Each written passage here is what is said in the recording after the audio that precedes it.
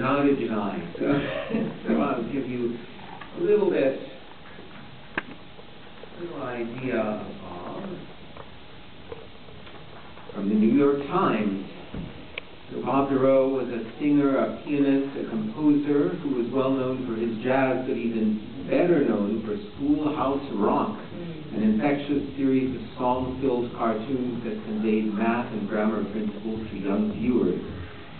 Mr. Dorough was a moderately successful jazz pianist and singer when an advertising man named David B. McCall approached him for help with an idea. Mr. McCall had wondered why his son was able to memorize lyrics to rock songs but couldn't learn multiplication tables. Would catchy math-related tunes be the answer?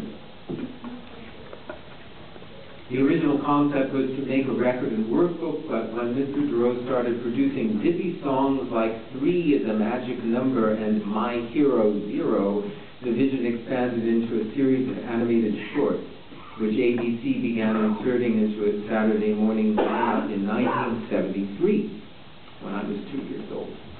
The series continued into the mid-1980s with several revivals in subsequent decades.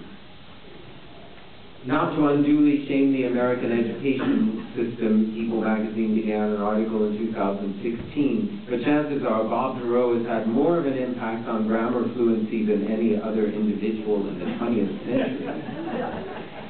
Mr. Dorough rhymes with thorough, was music director for the initial series and wrote and sang some of the most fondly remembered Schoolhouse Rock songs. Uh,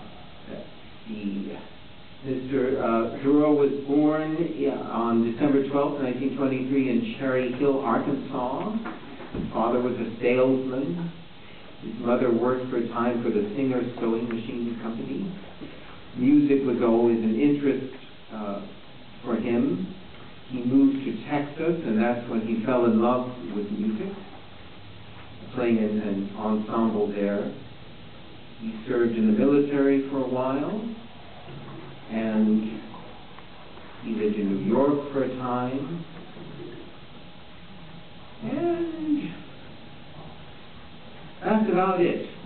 that's, that's, that's,